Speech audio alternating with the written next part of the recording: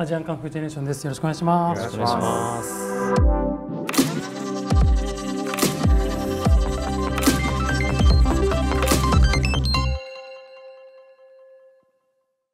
まずは自己紹介からお願いします。バンド名の由来や結成秘話を含めてお願いします。うん、えー、アジアンカンフージェネレーションギターの北です。よろしくお願いします。はい、えー、ボーカルギターの後藤です。ベースの山田です。ドラムの伊地知です。バンド名の由来や結成秘話、うん、うんうん。バンド名は結成前にね僕が考えていたっていう。一人でね。うん。一人でバンド組むならこんなバンド名かなみたいなのをね、うん、でやっぱりこう当時は洋楽とかも海外の音楽好きでそういうなんかその自分のなんていう夢だけはさものすごくなんて言うんだろう古代妄想じゃないけど、うん、いつか海外でも演奏するんだ日本の外で演奏するんだって気持ちがあったからなんか自分たちはのアイデンティティがそのエイジアンだっていうアジア人だってことをバンドに書いておいた方がいいんじゃないかなと思ってエイジャンにして、でカンフーっていうのはもうすごいね当時ねジャッキー・チェンの映画とかあのブルース・リーの映画とかにハマっててカンフー映画にね、カンフーって入れたいなジェネレーションはもうノリだよね最後。語呂的な。語呂的な。確かに最初にもう組んだ時にバンド名決まってたから、そうだよね。ここでまず組んだじゃん、うん、北君があの夜中大学の中庭で僕を待ち伏せして、その前の日になんかあの軽音楽部っていうかサークルのね仲間たちの集いのところで北君にじゃあバンドやろうかみたいな話したんだけど次の日大学の中庭で暗がりからね北君出てきて「昨日バンドやるって言ったよね」って。ララブコールをラブコールをして。確認して。そうそうそう。まさかこんなにね長く続くとはっていう。その時のね。そうかみたいだったよね。ちょっとね、まあ、そう。待ってる。待ち方が、うん、夜中だよ。夜中って夜中じゃない。あの夕方のもう暗がりの。僕はあの夜間の大学に通ってたから、そうね。そうそう。あれ怖かったな。でね山ちゃん誘って。そうですね、うん清も同じサークルだったからね、はい、3年後にこの4人で揃いました、うん。はい、バンド結成から25年以上経ちますが、うん、当時からのファン新しいファンどちらにも向き合うためにどのような努力をされていますか？そういう順序っていうか優劣をつけないってことなんじゃないですかね、うんうん、つまりあの別に昔から応援してくれる人も今か今最近好きになった人も、うんなんて言ったらいいのかな。その差がないっていうか今俺たちの音楽のことを気に入ってくれてるっていう意味では、ね、好きになったタイミングはいつでもウェルカムというかね。そうそうそう、うん、今こうしてなんかねコンサートとかの現場とかでもいいし画面の前とかでもいいけど、うん、そのこのフィーリングとかこのサウンドとかをシェアしてくれてるってだけである種仲間的な意識を僕たちは持ってるから、うん、なんかつまりそういう古いか新しいかで判断しないってことがなんかその、この質問に問われていることをなんて言ったらいいの？絵のアンサーなんじゃないかなみたいな気がします。はい、はい、皆さんの作品にはさまざまな音楽ジャンル、えー、90年代のオルタナロック、えー、インディーロックポップパンクが感じられますが一番好きな音楽ジャンルは何ですか？また新たに挑戦してみたいジャンルはありますか？みんなそれぞれ違うんじゃない？清とか山清からじゃあ一番好きな音楽ジャンルと、ね、もし新たに挑戦してみたいジャンルがあったら。まあ昔から好きなのはメタルですね。メタル好きなんメタルからバンドを始めたから、うん、でやっと最近ねアジカンに入って、えー、ギターロックを覚えまして、うん、まあ、今後はもうちょっとダンスロックみたいなのをやっていきたいなと、やってみたいな突然の告白でなんか戸惑うけどダンスロックとかやれてもねね味がまでやってないからね。そうね、うん、山ちゃんそうですね。あの自分が配信されてるものとか聞くときに、まあ、一応かジャンルの中からオルタネイティブを選びがちでよく。オルタナ、ね、オルタナを、うん、やっぱ90年代とか一番自分が音楽を聴いてた聴き始めた頃のものを改めて聞き直したりとかっていうことは多いですけどね。うん好きなジャンルでしょ？いろいろだよね。今だったらでもラップミュージックはやっぱり、ね、うん、面白いよね。どんなビートが流行ってるかなとかね、うん、ラテン音楽とかね。ラテン。なんかいろいろ聞きますね、うん、多国籍な感じ、うん、好きな音楽いっぱいあるからなんか日本の民謡とかもいいしね,、ね古いね、そうそう。やってみたいことってなんかみんなで相談だからもうここでダンスロックとかでいう宣言はできないなと そうね俺はどうだろう。でも俺もなんかこうお気に入りのプレイリストとかやっぱどうしてもインディーロック。まあ好きだね。インディーロック、ね、US インディーとかが多いかもしれないね、うん、うん、まあでもあとチャレンジしてみたいのはやっぱこうさっき清がダンスロックって言ったみたいにメンバーがこうなんかねこれやってみたいっていうのがあったらそれについていきたい気持ちもあるしなんか自分でもね何がいいかなっていうのは常々探してはいるんですけど、うん、まあまあそんな感じかな。サマソニフジロックそしてウィーザーフェス皆さんが主催されている7無限フェスなどフェスやライブに数多く出演されていますが、えー、ライブとは皆さんの活動の中でどのような役割を果たしてきたのでしょうか？なんかあの音楽を作って作品にして聴いてもらう時ってねよく先に数字の話とかになってどこどこで売れたとかチャートの話になったりとか、うんうんどこの国でどれぐらい聞かれてるかとか、うん、でもなんかその顔が見えない不安ってあるじゃない、うん、そういう人たちの顔が見えないっていうかさ。そういう数を聞かされてもね。そうそう。でもライブをすると実際に人がいて、うん、例えばブラジルに行っても人がいてとかね、まあ多分もう一度行くかわからない。ブラジルのあの、ね、港町のフォルタレザとかに行って、でもそこに実際に俺たちのことを待っててくれた人がいるみたいな。そういうのって本当に何て言うんだろうねこう創作に戻していけるエネルギーになるっていうかね。だからなんか皆さん俺たちのことを見たいと思ってコンサートに来てくれるかもしれないけど俺たちにとっては何だろう本当にエネルギーをこう得る場でもあるしなんだろうなその信頼してるファンをぜ目の当たりにする場所でもあるから、うん、特別だよねやっぱね。生きてるなって実感もあるしね。でも実際感動したよね、うんその本当に南米とかに行って、うん、そうねどこに行っても感動するよねアジアに行っても。こっちがだから結構ファンがいるっていうのをこうフェイスブックとかいろんなあれで知ってたわけじゃない情報だけ。うんそうだね。なんかメールとかもらったりとかしてね。実際こうステージに立ってっていうのすごかったね、うん、みんな本当だったんだって思った、うん、そうそう。感動的だよね。歌ってくれたしね。嬉しい。これまで行ったツアーの中で一番気に入っているツアーはありますか？また今後の海外ツアーの予定があれば教えてください。気に入ってるツアー清とか。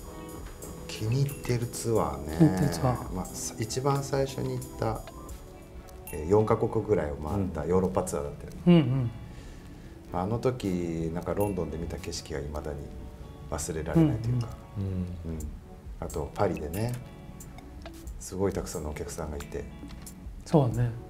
びっくりしましたね、うん2015年の時確かにヨーロッパツアーを回った後にそのまま南米に行くみたいな、うん、結構2週間ぐらい行ったツアーとかもすごい思い出深いよね、うん、確かにね、うん、その2年後ぐらいには北米南米ツアーもやらせてもらったりとか、うん、いろいろあってどこがいいとはどこもいいよね、うん。でも海外に行けるっていうのはバンド活動の上でかなりのモチベーションにまた海外に行けるように頑張ろうとかね、うん、その曲作りにおいてもかなりのモチベーションになってるよね、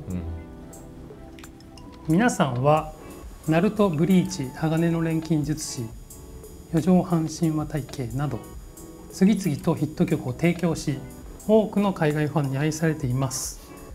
オープニングやエンディング楽曲楽曲が海外のアニメファンに大きなインパクトを与えたパイオニアです。これらの楽曲制作時にこんなに海外でファンが増えることを予想していましたか？作った当時か。いやでもねナルトの主題歌「晴れか彼方をやる時は、うん、まあそのソニーのディレクターと話した時は、うん、このナルトのオープニングをやれるってことはとても意味のあることで、うん、うん、もうこうこのアニメと一緒にこう世界にむしろ出ていけるんじゃないかって話をしたのが覚えてて、うん、まあ確かにね忍者のアニメだし、うん、うん、なんかなんか日本っぽくて面白いなと思ってきっと海外でも人気になるんだろうなっていうのは思ったんだけど、うん、まさかここまでとは思ったよね。ね。やっぱどこに行ってもナルトはちょっとなんかねパワーが違う感じがするよね。うん、その世界中の人に見てもらってるのはすごい実感するっていうか。いまだにね。いまだに。いやすごいアニメというか作品だったんだなっていうのはね面白いしね実際ね、うん、うん、最近の作品とかはねちょっとこうお話をいただいたらもう、うん、海外のことも少し意識しながらちょっとねそうですね。曲作りにも少し影響したりとか、うん、ナルトの曲をやる時はちょっとそのなんて言ったらいいのかな。ああの忍者の感じ、うん、そうだね。なんか忍者の感じだよね。なんか共通するね4人。オリエンタルな東洋的な音階をなるべく選びましょうみたいな認識は自分たちにあって、でもかつて YMO がやったようにね、うんうん、ちょっとデフォルメした日本とかのメロディーでいいんじゃないかなっていうね、ね。気持ちあってリフとかギターのフレーズとか考えたりしますね、うん、そうすると本当にライブで歌ってくれたりしてね、うん、うん、嬉しかったりもするんですけど。影響してるよね曲作りとかもね、うん。ボッチ・ザ・ロックは皆さんご覧になりましたか？すべ、えー、てのエピソードのタイトルが皆さんの歌にちなんだもので、うん、登場人物の名字もみんなの名前に由来しています。漫画やアニメシリーズに何か関わっているんですかってボッチ・ザ・ロック特にね。僕らの方からはね、うん、でもすごい嬉しいっていうかびっくりしたよね、うん、海外でも人気があるんだね。すで、うんうん、に。そうだね、うん、そうだね。なんか僕らがこう学生生活を過ごした、まあ、金沢八景っていう場所だったりとか、うん、僕らが本当に横浜のね南の地域ね。横浜南の地域の金沢八景だったり東京の下北沢とかね、うん、あの辺りに行ったりもしてうんそうだね、うん、鎌倉の方も行ったりとか、うん、なんかその描写が結構馴染み深いとこだからすごい見てて楽しかったかな、俺は。アニメーションの背景も結構リアルな景色がね、うん、なんかまあキャラがそのまま俺たちの名字のキャラがそのまま俺たちの性格かどうかはちょっとあれだけどね、うん、山ちゃんちょっとクールなキャラというか。そそうですか 俺なんかめっちゃあれなんだよね。明るい子なんだよね。そう。登場人物がだよ。山ちゃんが今クールって。ちょっと、うんそうそうなんかそういうのもなんか。褒められた顔。そうそう。あなたのこと褒めたんじゃないの？山田さんが。そうそうそうそうそう。クールなキャラだったりするじゃない、まあでもでも作者の方がねもしかしたらそういうのもちょっとイメージして作ってくれたのかななんていう。つながりは持たしてないんじゃないかな、そこは、はるか彼方が多くのメタルコアバンドに多大な影響を及ぼしていることをご存知でしょうか、えー。えー、 Bad Omens Alpha Wolf うん、えー、 Archetypes Collide といった数多くの海外でも著名なバンドがヘビーな音楽を作るようになった大きな理由はるか彼方として挙げています。へえすごいね。でもこの Bad Omens ってかなり有名だよねごめん俺。 Bad Omens は多分すごく有名ですよね。すごい。メタルコアね。ヘビーな感じの、うん。多分だからマイケミカルロマンスとかぐらいのなんかああいう感じの。でもなんかはるか彼方がを昔こう聞いてましたみたいなことはサンダーキャットのプレイリスト、ね、あのサンダーキャットのプレイリストにはるか彼方に入ってたんだよね。ちょっとびっくりした。そういう話は結構なんかここ何年か聞いたりしてすごいこういうハードな人たちにもメタルコアファンのね。うれ誰でも嬉しいですけどね。ミュージシャンじゃなくても、ね。うん、きっかけになってくれた好きになって何かを作り始めるきっかけになってくれてるのは、めちゃめちゃ嬉しいね。ね。でもメタルってそこまで自分たちがメタリックな認識ってないから、うん、意外だけどなんかそういう面白さってあるんだね音楽には。最初のあのなんかちょっとヘビーな山ちゃんのベースラインとかはでもちょっと、ちょっと通ずるものもあるのかもしれないねこういう。ああサウンド的にね、ね、うん。うんすごい嬉しい。です2008年に作った「サフ文学鎌倉」っていうね、うん、アルバムの完全版。そう。コンプリート版を。そうそう。まああの日本の鉄道があるんですよね。江ノ島電鉄ってね、うん、それが15駅あって。そのうちの10駅を曲にしたのが2008年で。残りの5駅分の曲をまあ書き足して、うん、全15曲のアルバムをこの夏にね出すんでまたあのいろんな配信サービスとかで聞いてもらえたら嬉しいなと。なんかねウィーザーとかにも通ずるパワーポップアルバムなんでね。そうね。だからそういう90年代のアメリカの歌のとか好きな人はちょっとにやりってできるところがあるかもしれないし。いろんなねオマージュとかも散りばめてるんで、うん、ぜひぜひ聴いてみてください。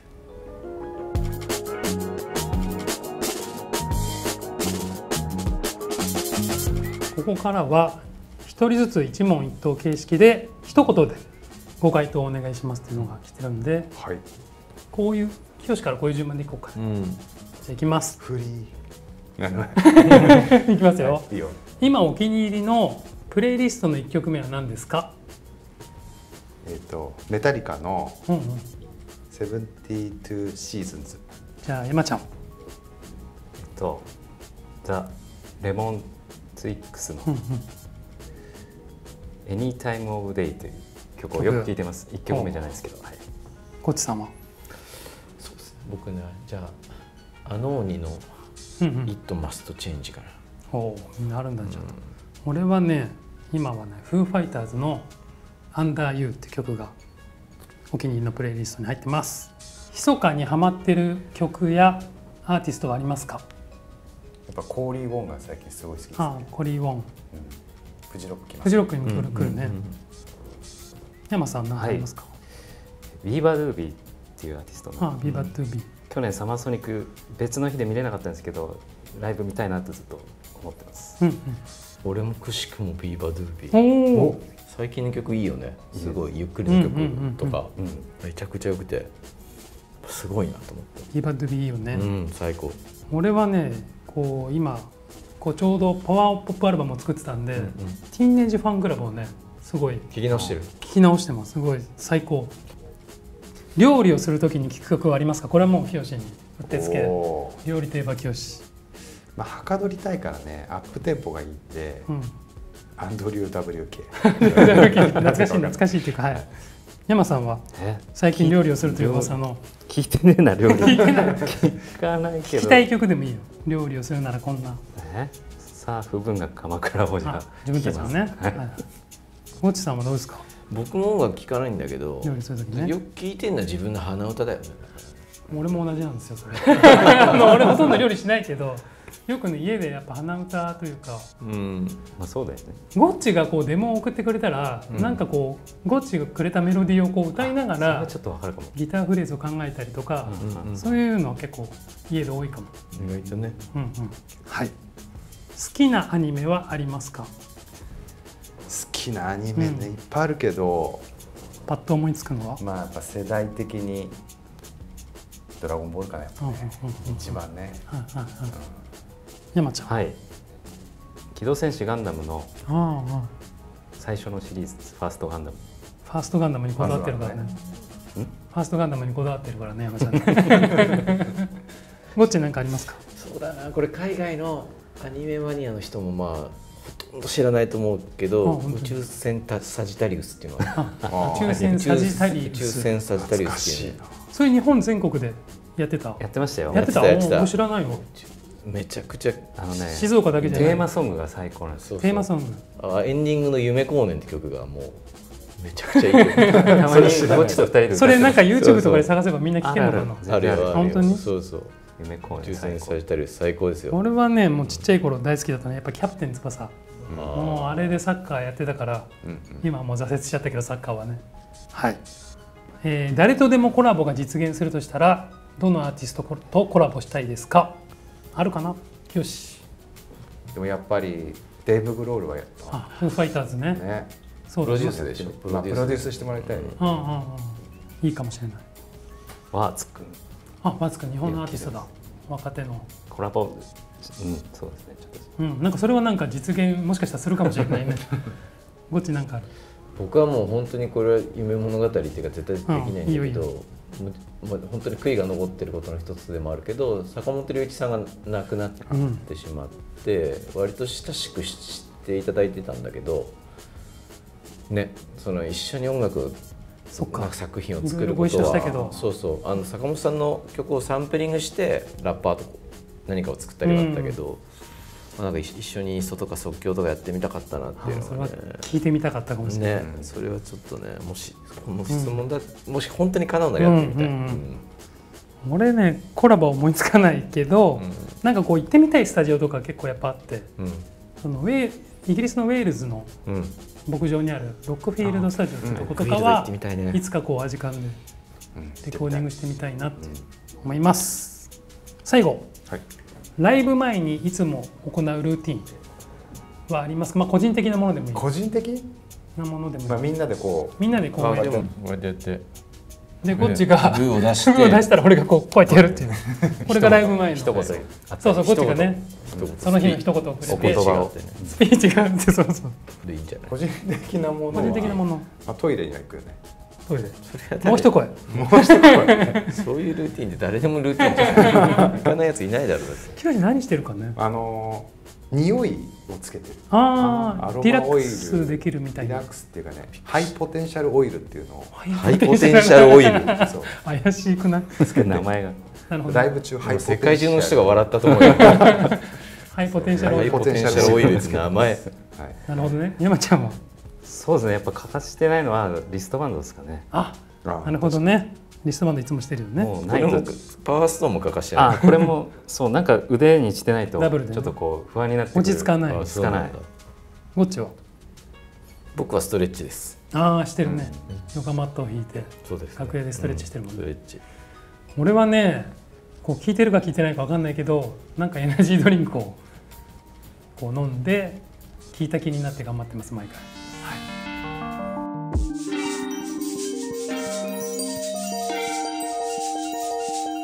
メンバーのについての質問があると。質問があるんで。当てはまる人を指さす人を指さす、はい、パシッといきますよ、はい、早起きが苦手なメンバーはせーの。みんな自分で あれ？一人だけ、ね、でも誰なんだろうね実際は。ケンさん最近ちゃんとそうなんです。俺もともとは俺だったよねダントツでね、うん、そうだね。あのだけど最近ここ何年かはお酒やめて、うん逆に早く起きちゃう遅刻しなくなった、遅刻しなくなっただから偉いでしょ、うん。うんうん、今ど自分はさしてたけど得意ではない。早く山ちゃんは早く起きるイメージあるけどね。でもね好きじゃないんです。よ早起きは。無理やり起きてる。頑張って、うんうん、教師も。なんか最近遅刻が目立ってるな。ケンさんが遅刻しなくなって一番最後に俺が集合するっていうのが目立ってきてる。確かに確かに、こっちはなんかね早く起きるイメージ、うん、もう起きちゃうね早くね、うんうん、おじいさんになってきてるから、はい、ライブをなかなか終わらせないメンバー。どういうことだろうね。ライブをライブをなかなか終わらせないメンバー。どういうことだ どういう意味意味が分かんないな。意味も含めてじゃあ指さしてみるか。せーの。俺？山ちゃん俺か、うん、ケンスケンさんなかなか最後の整列の時来ないよな。そうだね。いつもなんかフェスのこう最後のや、ね、ヘッドライナーやらせてもらった時とかにみんなでね前に出て挨拶するんだけどそれ俺一番いつも最後だね確か。に、うん、最後なんか最後の曲の余韻を結構引っ張る。引っ張っちゃうね。確かにそうだ。あ俺かもしれない。聞いてると大したことやってないよなって。やって弾いてほしいこと弾いてくんなかったりする楽しんでやってんだよねきっとそうそうそうそうなんかあの曲のキーキーの余韻でなんかちょっとこうアルペジオをね弾きたくなっちゃう。すごい。あのレディオヘッドのエドとかを思い出すね。最後残ってるなみたいな。最後残ってる。確かに。最後まで残ってる、はい、続きまして曲のパートを忘れがちなメンバーこれはなかなか。とこだな。今日せーの。これも満場一致、はい、そうね清ね。どうなの自分でも。なんか忘れてるわけじゃないんだけど、ね、変わっちゃうんだよね。わかるわかる。同じこと。変えちゃう、ね、同じことを何回もできないって言ってたもんね。そう。本当に忘れてる回数で言うと俺の方が多いもんね。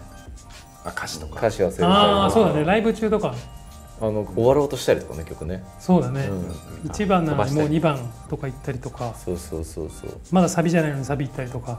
九州のフレーズが違うのはそんなに大きな事故にはつながらないから。そうだねドラムはね、うん、歌はやっぱねみんなでどうすると思うもんねこっちがその先に行っちゃった時歌でね。はいはいはい。あの緊張流れる、ね、感想半分でね歌い出したそうそうそう、まあ、それぐらいだったらねまだね合わせられたりするけどみんなでこうよくドキドキしながら。そういう意味でポカは俺が一番多いんだよね。